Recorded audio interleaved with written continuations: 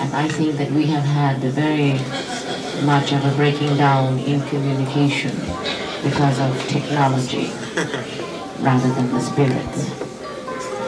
And I think through the art we keep the spirit alive.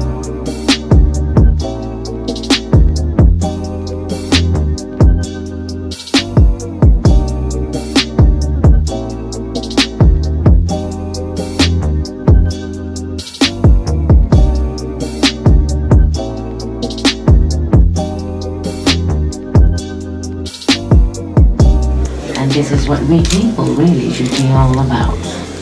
And if you really want to keep it alive, you have to work together.